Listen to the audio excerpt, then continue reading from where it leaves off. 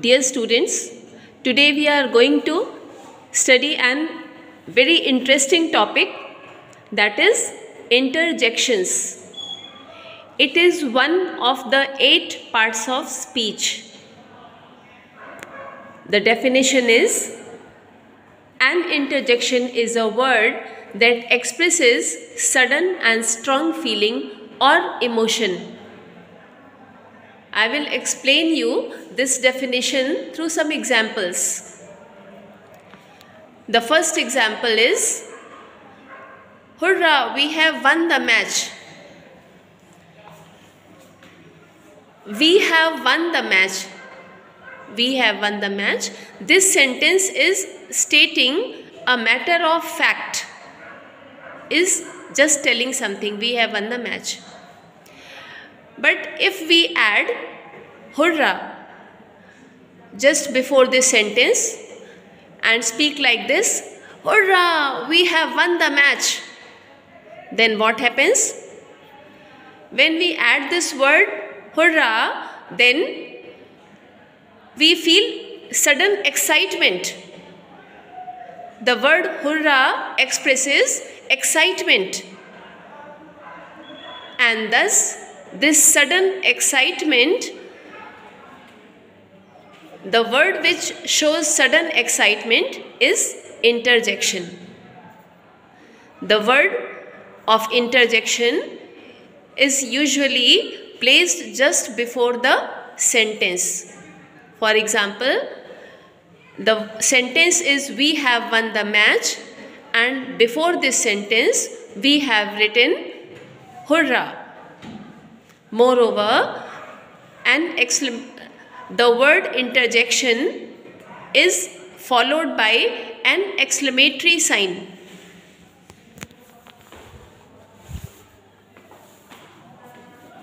Dear students, this is exclamatory sign.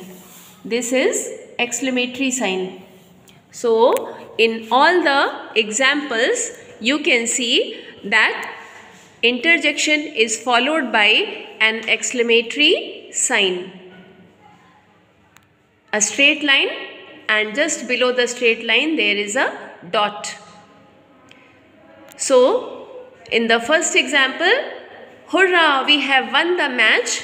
The word hurrah expresses sudden excitement or sudden joy. The second example is Hey, how are you doing? So, the sentence is How are you doing? Here, hey is the interjection.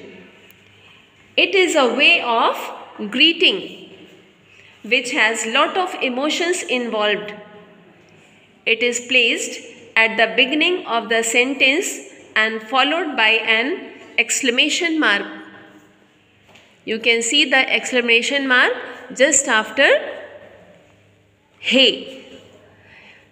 Hey is written in the starting of the complete sentence just before how are you doing.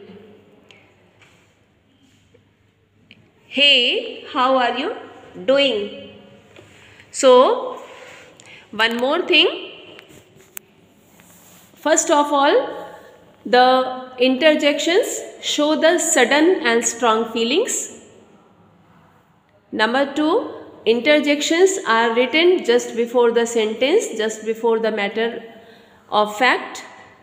Number three, interjections are followed by exclamatory mark, exclamation sign.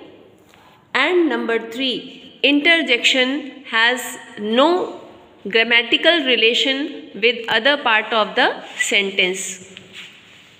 It means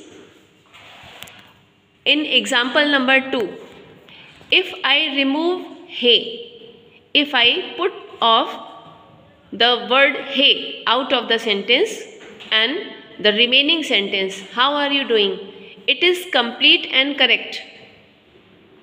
If I remove hey and the exclamatory sign the remaining part of the sentence, how are you doing, is itself complete as well as correct.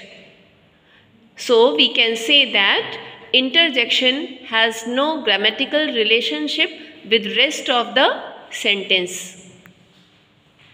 So these are the three rules.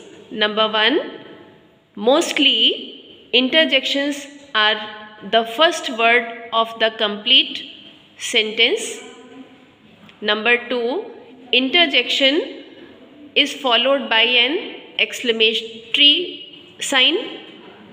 And number three, interjections have no relation with rest of the sentence. If we remove the interjection, the remaining part of the sentence is correct and complete without the word of interjection. We see that the third example is Alas, I have lost my way. So, here alas expresses sadness and grief. Sadness and grief. Alas is written just before the sentence I have lost my way. This word alas expresses that the a child or a person is in grief, is helpless or is sad for losing the way. Alas is interjection.